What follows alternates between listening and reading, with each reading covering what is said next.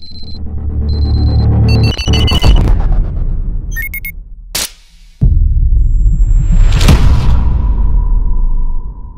guys, Saki from Socky and in today's video we have some great news. We do have a brand new update for One UI 3.0. This is going to be beta number 4. So let's go to our settings real quick. Okay, I'm going to go all the way down. Actually, right on the top, we get the message. It says a software update is in fact available.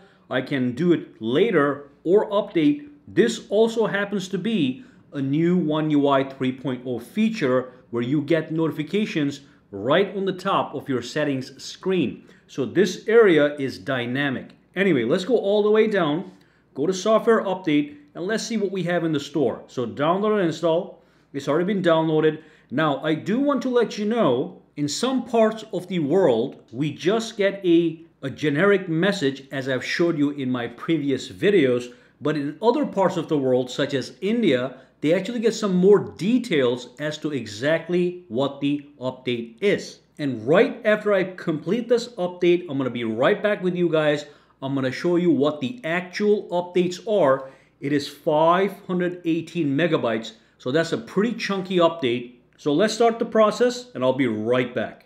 Alright, so the phone has been updated. Now I'm going to go into my Samsung members. I'm going to show you guys what is the official change log in this new fourth beta update. So all you do is if you're enrolled, you are going to see the notices icon on the top. You tap on it and then it's going to say fourth beta update. Now when I go inside here, it's going to show me a bunch of things that were fixed and that's going to be in relation to bugs. And you can see them right here, but this is still not everything. So let's go over this real quick. So the Wi-Fi image has been fixed. Sometimes the Samsung keyboard just magically disappears the Wi-Fi status in the Wi-Fi connections was wrong, but now it's fixed. And then they also fixed some minor errors. So that's one part of the update. But actually we have an update to the camera. The camera is now stabilized and has improved performance. Let me show you why I'm saying that. So my man Farhad over here sent me a screenshot of his One UI 3.0 update. And look at what he gets to see. He gets to see this thing right here.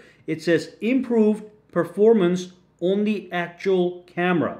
And of course, the security of his device has been improved, okay? And here's another person that sent me a screenshot of his update. That's Jagadish. And again, if I go down here, he got the same thing. It says improved camera, performance, and the security of your device has been improved, plus all the other stuff. His size is a little bit smaller, but not a big deal. It varies from region to region, all right? So in our case, for some reason, all we see is this thing right here software update, last update, just a generic message, but some parts of the world, they get some details. So with this update, you're actually getting enhancement to your camera. It is now more stable, the focus is in fact quicker, and it just feels more smooth overall. But beyond that, of course, we have our device stability improvements and the bug fixes we showed you guys a couple minutes ago. We have new and or enhanced features and of course, further improvements to performance the phone just feels more and more like a public device. It's super smooth now, okay?